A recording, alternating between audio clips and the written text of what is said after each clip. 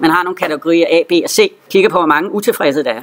Det er jo lidt mærkeligt, at man kan kigge på utilfredse og ikke kigger på, hvor mange tilfredse der er, for det kunne man lige så godt have gjort. I moderne, så siger man, at man skal altid tage det positivt. Og det vil sige, det kan godt være, at der er 15 procent øh, utilfredse, men der er sgu da 85 procent tilfredse. Der er noget med nogle olf, det var meget vi dunster, og så er der øh, vores aktivitetsniveau, og det bliver lagt ind i øh, sådan et schema her. Så han har så lavet en kurve ud for en formel, hvor man, der, der er nogle eksponentielle funktioner i det her, og det kan man aflæse i, i kurve. Det, øh, som, som matematiklærer, der er det jo selvfølgelig guf. Problemet er bare, at jeg, jeg vil ikke have, at man skal gå ind og aflæse den der, så jeg tog den der og smed ind i et program, og så øh, lavede jeg lidt om på den løs ligningen. Men her har jeg så Q, det er så den vendt luftskiftet i liter per sekund per person ved et aktivitetsniveau på 1 met. Mets, det står for forkortelse for metabolism, det er altså stofgift. Ikke? Det er det, jeg går ud fra, der er, fordi hvis det ændrer på det, jamen, så vil det også ændre på de forhold, der er hernede. Men en MET, så kan man regne ud, og så kan man bruge LN, og det er PD. PD i procent, det er denne her øh, forudsatte utilfredshed. Det vil sige, øh, hvis man er øh, 15 procent utilfredse, jamen så kan man, øh, øh, det er sådan, det er bare en kurve over den der, hvor jeg regner den der kurve. Sådan en øh, værdi, den er øh, lige til at smide ind i Revit, eller Excel, eller hvor man nu vil bruge den hen. Og det er så også blevet gjort her, og jeg vil nok også vise dig, hvordan man kan smide den ind i Revit og regne på de her øh, ting. Fordi så kan jeg gå direkte ind, og så kan man jo gå ind og sige, hvor mange utilfredse vil jeg have i det her rum, for eksempel. Og det vil sige, gå helt ned på rumniveau. Når vi alligevel har rumniveau, så kan jeg gå ind og sige, om det her rum. Og det vil sige, de sidder dernede og skal være aktive, og de skal altså have et godt indeklima, så der kan kun være 10% utilfredse. Det gør så, at ventilationsbehovet det stiger jo betragteligt i forhold til, men det kan være givet godt ud, så længe det ikke trækker. Så der er nogle andre ting, vi også skal sørge for. Det må ikke øh, have træk. Så derfor er det svært at gøre alle tilfredse, men man kan heldigvis regulere det på beklædningen også. Liter per person, per person den kom her. Så vil man måske kunne genkende denne her øh, øh, formel her. Så især hvis jeg dobbeltklikker på den. Ln, det er naturlig logaritme. Så tager den F8. Øh, F8, øh, det er herovre. Man kan ikke rigtig se den, men det er procent utilfredse, vi har her. Så den tager hvad den værdi, jeg nu sætter ind her. Den er i øvrigt styret af det, hvad jeg skriver A, B og C her. Så der er kun tre muligheder og det kommer ned fra det schema hernede. Så dividerer den med 3,9, og så sætter den det hele i fjerde, og så dividerer den med 11. Det er sådan en tilnærmet værdi, fordi jeg har rundet lidt af for ikke alle de her decimaler, fordi det er fuldstændig betyd, øh, betydningsløst, om vi kører meget nøjagtigt eller ikke. Så får vi øh, 7 liter per person, så man kan se, hvis jeg går ind og siger A her, så, går man, så får vi 10 liter per person. Og man kan jo gå ned i det schema her, som jeg var kigget på før, så kan man gå ind og sige, øh, der får jeg samme, altså når, øh, når jeg går hen og siger 15, det var A, 15 går hen, så aflæser jeg 10. Øh, hvis jeg gik ind og sagde 10, så vil det, hvis jeg går hen her, så vil det nok give 15. Øh, så hvis jeg gik herover for eksempel, og fordi den, inde i Revit, der bruger vi nok ikke A, B og C, det vil jeg ikke, der vil jeg simpelthen skrive mange procent utilfreds i stedet for. Så der laver jeg en parameter, som jeg kalder PD, det kunne jeg jo meget vel øh, sigende gøre, og det vil sige, ud fra denne her øh, PD-værdi, øh, jeg har der, så vil den regne ud. Og hvis jeg nu for eksempel skriver øh, øh, 10, så vil man se, så bliver det 16 liter. Nu sagde jeg øh, 15, men altså det er øh, fint nok. Øh, det er nok også 16, hvis man er det lidt. Hvis man tager NKB-metoden, den er en øh, lille øh, smule anderledes. Det den sådan set gør, den er, den går ind og så, den siger 0,5 gange øh, 7 liter per person. Øh, det regner jeg så ud. Altså 0,5 gange 7, det er jo 3,5. Så det synes jeg, det gad jeg ikke gøre så meget ud af øh, der. Det giver 3,5, og hvis jeg går ind og så liter per kvadratmeter, så er det 0,7. Så den kan jeg altså bruge den øh, formel her til det. Og det man så også skriver under NKB-metoden, det er, at vi må ikke komme under 7 liter per sekund per person. Det der døgnstationære varmebalance, den bruger også det her princip, hvor vi regner minimumsluftskiftet for CO2-koncentrationen. Og det er også 7. Hvis I ser her nederst, der, der står den lille og der kommer det 7-tal ind også. Som minimum skal. Og hvis man kigger på de kategorier, der er heroppe, A, B og C, så svarer det faktisk nogenlunde til kategori B. Så hvis jeg går ind og tager kategori B her, så skulle den svare nogenlunde øh, til, til det. Og hvis man kigger på det samlede luftmængde, så siger den ene heroppe, der siger den 18 øh, 1000, nej, cirka 19.000 kubikmeter, den siger cirka 16.000 kubikmeter. Det er inden for de grænser, man siger, der er, er fint nok. Øh, hvis man går ind og tager C-niveauet, øh, så kommer vi under. Så, så det ligger altså derimellem, altså øh, B- og C-niveauet, når man skal sammenligne de to metoder med nogen. Går ud fra, at vi kender arealet, og går også ud fra, at vi ved, hvor mange personer, der er i de enkelte rum. Cirka. Øh, så når jeg ved, øh, ud fra de kriterier, så kan jeg altså beregne noget ventilation. Enten ved en NKB eller med en metode. Det næste er simpelthen, hvor store skal de her kanaler være? Jamen det afhænger jo lidt af, af den hastighed, som der skal være i kanalerne. Og hvis man kigger lidt øh, på det her, som jeg har fundet, så kan man sige, at tilslutningskanaler, der har vi typisk 2-3 meter per sekund. Øh, fordelingskanaler til rum 2-4, mellemrum 4-6, og så i hovedkanaler 6-8.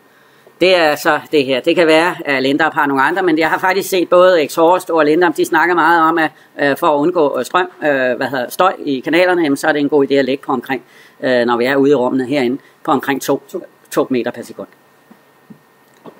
Og øh, lige netop er luftskiftet til 2 meter per sekund, det betyder jo noget for, for kanalens øh, diameter. Og hvordan er sammenhængen som mellem det? Og det kan jeg jo bruge øh, det herinde til. Så hvis vi går ind og siger, at vi har et flow, øh, det er jo typisk øh, det, man også bruger i Revit. Der går man ind og finder et flow for... Øh, øh, så man ligesom skal så finde ud af, hvor mange liter per sekund er det, vi skal bruge, og det kalder man så et flow. Og det kan være ventilationsarmatur, men det kan også være inde i rummene, hvor man siger, at der skal bruges så og så mange øh, liter per sekund til det her rum. Og det flow, øh, det program, som jeg nu viser her, det gode ved det program er, at det er uafhængigt af enheder. Det regner med enheder. Det er så genialt. Det burde den være lomregner gøre. Det vil sige, når jeg skriver formlerne op, jeg skal ikke tænke på enheder, jeg skal bare vide, hvordan det øh, regner. Så lad os sige, at jeg har et flow øh, på 50 øh, liter liter. Så kan I se, så dukker der noget op her. Det er el, det dobbeltklikker man lige på herinde. Liter, og så er det per sekund. Der har vi her sekund. Jeg ved ikke, om det der også er sekund, om det er lille eller stort. Så nu har den 50 liter per sekund, og det man også kan se her, det er, at det er blåt. Og når det er blåt, kan man ikke se det? Ja. Så er enhederne med. Når man går ind og øh, kigger så på, øh, det er altså flowet til de her, og så kigger på øh, flow-hastigheden, for den er jo selvfølgelig også øh, vigtig. Og, øh, den, ja. Ja. Ja. Det her, det, man bliver nødt til at kende de her, for hvis man skal gøre det ind i Revit, så er det formlerne, man smider ind. Så hvis man vil gerne ind i Revit beregne sine kanaler, hvad enten det er runde kanaler, eller det er firkantkanaler, så er det en god idé at lige lytte efter her. Øh, vi har en hastighed, det kan stå typisk er det velocity, og hvis man har øh, V, så kan man sætte den for velocity. Øh, og øh, hastigheden er jo typisk i meter per sekund. Og lad os nu sige, øh, nu tager vi en af de her øh, kanaler ind til rummene, hvor vi kun har 2 meter per sekund. Så det er 2 meter, så skal, man skal desværre klikke herop, det skal man ikke i MatCat, men her der går det nok også. Meter per sekund. Sådan her, så nu har jeg mit flow og min hastighed øh, herinde. Og øh, hvis man kigger på enhederne, så er det her noget med et volumen, og det her det er noget med en længde. Og hvis jeg tager et volumen og dividerer med den ene længde, så får jeg et areal. Så ved at tage flowet og dividere med V, så får jeg et areal ud af det. Det kan jeg bare se ud af enhederne. Så jeg ved altså mit areal. Det kunne jeg jo kalde A-kanal. Det er øh, arealet øh, på kanalen kommer vi lidt ind på, hvad, hvad vi bruger det, for der kan være, det kan både være firkantkanaler, det kan være rundkanaler, der er en lille smule forskel, øh, rent strømningstabsmæssigt. Så, øh, så hvis vi siger, at areal af kanalet, det er flow, og man kan se, at det dukker op her, så kan man bare klikke, hvis det var nogle lange øh, variabler, man havde, og så er det divideret med V. Og så kan man sige, at det er lige med, og så får jeg det i kvadratmeter, jeg kan få det i kvadratcentimeter, jeg kan få det i kvadratmillimeter. Det må I øh, fuldstændig uh, selv om. Så nu prøver jeg lige at vise, hvis jeg gerne vil have det i kvadratmillimeter, så trykker jeg bare kvadratmillimeter. Og når man sætter i anden, så kan man bruge øh, den der deroppe, eller man, I kan også se, det er den hat. Jeg kalder det en hat, men den, det er sådan omvendt tag. Eller ikke et omvendt tag, ret tag. Og så kan man sige, at den øh, antal decimaler, det er der vel ingen grund til, når det er i millimeter. Så det svarer til 25.000 kvadratmillimeter. Jeg kan også få det i centimeter, ensides tommer og så videre. Det er, øh, for, det er fuldstændig fløjtende ligegyldigt, øh, hvad det er. Hvis man også siger, jamen øh, nu skal jeg finde øh, diameteren af det her. Jamen så vil jeg jo gerne have diameteren. Og diameteren finder jeg ud fra arealet. Jeg ved, at arealet er en cirkel. Det er pi fjerdedel gange med det i anden. Så hvis jeg tager øh, og finder løsningen på det, så tager jeg kvadratroden af det.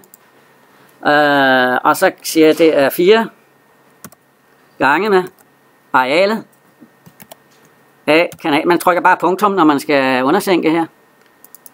Kanal, og det skal så divideres med pi. Og der kan jeg ikke lige huske, øh, hvordan man gør det. Øh, nogle gange sætter man... Nå ja, øh, det er vist P, og så Ctrl G, eller hvad? Skal vi se, om ja, det virker. Sådan der. Tak. Og så kan jeg se lige med her. Og så får jeg det i meter, og der sætter jeg bare millimeter ind. Og så får jeg en, øh, en diameter ud af det her.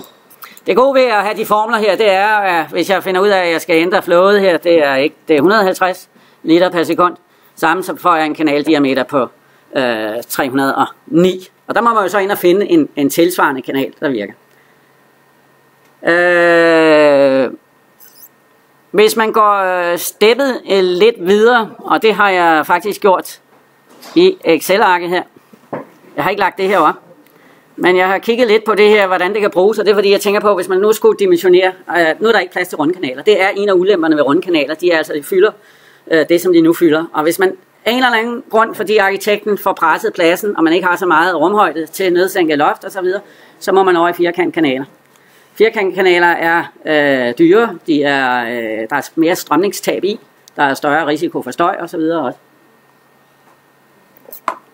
Og hvis man kigger lidt øh, på det, så har man det, der hedder en hydraulisk diameter. En hydraulisk diameter, det er, jeg ved ikke, om jeg har været inde på det, men det er en teoretisk diameter på en firkantet kanal, som har samme tryksab som et tilsvarende rundt kanal. Det er sådan set det, der er defineret. Det vil sige, at hvis jeg finder en øh, hydraulisk øh, diameter, så kan jeg finde den ud for 2 gange højden gange bredden, divideret med højden plus bredden. Det kan jeg sådan set heller ikke rigtig, jo det kan jeg godt forholde mig til, men ofte så har jeg jo højden. Det vil sige, når jeg går ind og projekterer, så ved jeg, hvad min højde er. Og så, må man, så vil jeg gerne have bredden. Ligeså vel som hvis det er rundkanaler, så vil I bare have diameter. Altså, I har luftgift og alt det her, giv mig diameteren. Så, og hvis formlen ellers er lagt ind, så er det kun et spørgsmål om, hvad I propper ind i jeres rum. Hvor meget skal der ventileres i hver en rum, så får I også i jeres schema en diameter. Øh, hvis det er firkantkanaler, det kunne jo godt være, så vil jeg bare have, at man skulle have en bredde. Og det jeg sådan set gør, det er, at den hydrauliske diameter, det svarer jo til en, en rund diameter. Så hvis vi nu siger, at vi regner det hele ud i runde diameter, så kan man vælge de runde rør. Men hvis man nu gerne vil have et firkantrør, og jeg har en given højde, så går jeg jo ind og sætter den givende højde ind her. Det vil I faktisk se her. Øh, først så har jeg flow, hastighed, areal, diameter. Det er en lidt smule anderledes i Excel, fordi der skal man have styr på enhederne. Uh, og så har jeg den hydrauliske diameter, og den er sådan set bare den samme. Så siger jeg, hvad er højden så? Jamen hvis den er 150, så får jeg en bredde på 329. Og så tjekkede jeg lige ved at regne omvendt, så passede det nu, det jeg havde gjort. Og det gjorde det. Det gav jo den samme øh, hydrauliske diameter. Så, så det her, det er kun en kontrol. Og det skal man altid gøre, når man sådan lige sidder og, og fætter med det her, som jeg gjorde her til morgen. Øh, det der er i det, det var, at jeg lige pludselig gik ind og tænkte, jamen jeg vil sådan set have en højde på 100. Så får jeg en bredde på minus. Så tænker jeg, at der er noget galt i min formel, eller hvad? Nej, så tænker jeg jo lige hernede, hov, øh, jamen hvis den 2H, hvis, jeg nu, hvis det nu giver 0, eller nærmer sig 0, så bliver det her uendelig stort. Så hvis jeg har øh, 2H og min diameter, det vil sige min højde, min højde den skal være øh, mere end, øh, hvad skal man sige, mere end det halve, mere end det halve af den hydrauliske diameter. Det er sådan set det, der står hernede. Så den må ikke være mindre end det halve af den hydrauliske diameter. Så hvis jeg har, eller den diameter har, så hvis jeg har en diameter på 206, så skal denne her i hvert fald være minimum. Og nu prøver jeg at gøre noget, der er totalt ulovligt. Det vil sige, sætte den øh, lige halve, fordi så giver det her stort set 0, hvor jeg en meget, meget stort tal eller lille tal. Så øh, nu kan jeg prøve at sige 104. Så, så får jeg et meget, meget stort tal. Så bare ved at ændre den, så ændrer den fra plus til minus, og det kommer hernede fra. Så typisk vil man sige, når jamen 200, og så kan man prøve sig lidt, så får man næsten en rektangulær øh, kanal. Og det vil sige, det behøvede jeg måske heller ikke. Så kunne jeg sige 150, og så vil jeg kunne det. Så højden, det er egentlig sådan set selv bestemmer, hvad er der nu plads til i de pågældende rum. Den kan I sætte ind, og så får I bare bredden på kanalen øh, til det. Eller I kan også gå direkte og sige, at jeg skal have et rundt rør, der svarer til det her. Så det er lidt en tolkning af de resultater, der er øh, til det her, for at bruge det i forbindelse med øh, Revit. Og det er de formler, der kommer ind i Revit. Men man skal jo kende formlerne først, man skal kunne regne det ud først. Man skal jo kunne sætte den her, lave den her opsætning, ellers kan man ikke rigtig bruge det inde i Revit. Så kan man bare sidde og gætte sig frem til det. Ja. Hvad hedder det? Bliver der ikke produceret hvad hedder det, bare nogle standardstørrelser? Jo. Der gør, at man ikke bare kan sige, jeg vil have den. Fuldstændig korrekt. Og det er jo... Øh, Det er jo sådan set det, der er lidt problemet, når man øh, regner på denne her måde. At jeg ikke har. Øh, I Excel, der kan jeg gå ind og sige hvis, og så kan jeg simpelthen have et schema over standardstørrelserne, så går den direkte ind, og det har jeg også øh, lavet. Øh, kan jeg ikke lige huske, om, om, hvornår, men det har jeg lavet sådan et schema, hvor man kan gå ind og så vælge den selv øh, standardstørrelsen. Øh, det kan man muligvis også ind i Revit. Øh, jeg ved bare ikke helt hvordan, fordi problemet er med de her skemaer, dem skal du have, den skal jo vælge ud for nogle karakterer. Man kan gøre det, i og med at det ikke er for mange, men det bliver en meget lang vis. Hvis den er så øh, over den størrelse, så gør den sådan. Jeg bruger det for eksempel i forbindelse med, øh, når man har sheets. Så når man vælger et sheet, så går jeg ind og bruger, der kan man bruge den her vis. Så hvis man trækker i sheetet, så går den ind og vælger jeg 4, 3 og så videre. Øh, øh, så det vil man sådan set nok også kunne gøre her. Det er mit bud, jeg har ikke prøvet det, men jeg vil gætte på, hvis en lang vis, og nu kan der være øh, op til en 20-30 rørlængder, størrelser, og det vil sige, øh, der er i hvert fald i øh, Excel er der en begrænsning for, hvor mange vis, og du kan, og det kan du sikkert, det er der sikkert også i Revit, jeg ved det ikke. Men øh, jeg vil umiddelbart vil jeg sige, at det kan man godt. Men øh, det kan vi jo prøve af. Det er jo bare, Men ikke lave rundt op til nærmest. jo, ja, man vil runde op af. Øh, det er jo ikke mening, at der skal rundes op af, ja. Øh, det kan man, øh, I Excel kan man lave det.